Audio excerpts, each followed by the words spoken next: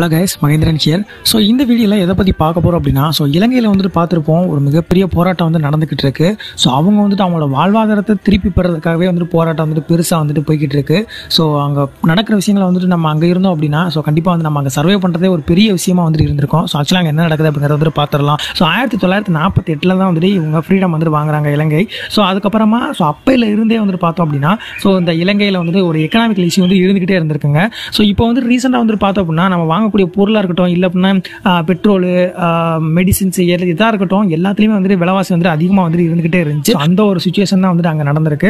So அதனால் வந்துட்டு அங்கே உள்ள மக்கள் எல்லாருமே போராட்டம் பண்ண ஆரம்பிச்சிட்டாங்க. ஸோ ஏப்ரல் ஒன்பதாம் தேதி வந்துட்டு இந்த ஒரு பிரச்சனை வந்துட்டு அங்கே ஸ்டார்ட் ஆகுது.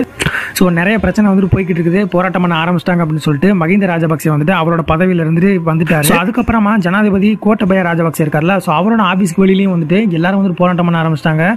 போராட்டம் பண்ணவும் பெரிய பிரச்சனை வந்துட்டு ஆக ஆரம்பிச்சிருச்சு. ஸோ அவரும் வந்துட்டு கொஞ்ச நேரம் கழிச்சு நானும் வந்துட்டு என்னோட பதவியிலேருந்து ராஜினாமா பண்ணிக்கிறேன் அப்படிங்கிற மாதிரி வந்துட்டு அவர் சொல்லியிருக்காரு. ஸோ அங்கே வந்துட்டு மக்கள் எல்லாமே ப்ரொடெஸ்ட் வந்து பண்ணிக்கிட்டு இருக்காங்க ஸோ தொடர்ந்து வந்துட்டு போராட்டம் பண்ணிக்கிட்டு இருக்கும்போது ஸோ அந்த ராஜபக்சே குடும்பத்துக்கு உண்டான சப்போர்ட்டர்ஸ் வந்துட்டு இருப்பாங்களா? ஸோ அவங்களையும் வந்துட்டு உள்ள இறக்கிடுறாங்க. இறக்கி ஒரு பிரச்சனையை வந்துட்டு தூண்டிடுறாங்க. ஸோ அதுக்கப்புறமா இது ஒரு பெரிய பிரச்சனையாக வந்துட்டு மாறுது. ஸோ அதுக்கப்புறமா மக்களை வந்து கொஞ்சம் கொஞ்சமாக அவங்க கொல்லவும். அதுக்கப்புறமா அங்கே உள்ள ஆஃபீஸு அதுக்கப்புறமா மகிந்த ராஜபக்சே வீடு அதுக்கப்புறம் எல்லாத்தையும் போட்டு அடிச்சு நொறுக்கி எரிஞ்சிடுறாங்க ஸோ அவங்க சப்போர்ட்டர்ஸ் வீடு சப்போர்ட்டர்ஸ் ஆஃபீஸு சப்போர்ட்டர்ஸோட சொத்து எல்லாத்தையும் வந்துட்டு அடிச்சு நொறுக்க ஆரம்பிச்சிடுறாங்க. ஸோ அந்த மகிந்த ராஜபக்சே இருக்கார்ல அவரோட சப்போர்ட்டர்ஸில் ஒரு நாலு பேர் வந்துட்டு இறந்து போயிடுறாங்க. ஸோ அவங்க வந்துட்டு இறந்தாங்களா இல்லை அப்படின்னா மக்கள் அடிச்சு கொண்டுட்டாங்களா அப்படிங்கிறது ஸோ அங்கே உள்ள மக்களுக்கு தான் வந்துட்டு தெரியும். ஸோ இது வந்துட்டு அவங்க சுட்டு கொண்டுட்டாங்க அப்படிங்கிற மாதிரி வந்துட்டு அவங்களா சூசைட் பண்ணிக்கிட்டாங்க அப்படிங்கிற மாதிரியான ஒரு நியூஸ் தான் வந்துட்டு ஸ்ப்ரெட் அவுட் ஆகிட்டு அவங்க மக்கள் வந்துட்டு ஒரு நூற்றி எழுபது பேர் நூற்றி எண்பது பேர் வந்துட்டு ரொம்பவே வந்துட்டு காயமடைஞ்சிருக்காங்க. ஸோ அவங்க எல்லாமே வந்துட்டு ஹாஸ்பிட்டலுக்கு வந்துட்டு அமைச்சிருக்காங்க ஸோ அது மட்டும் இல்லாமல் ஸோ அங்கே இருந்த மகிந்த ராஜபக்சேவும் அதுக்கப்புறமா கோட்டபாய ராஜபக்சேவும் அவரும் வந்துட்டு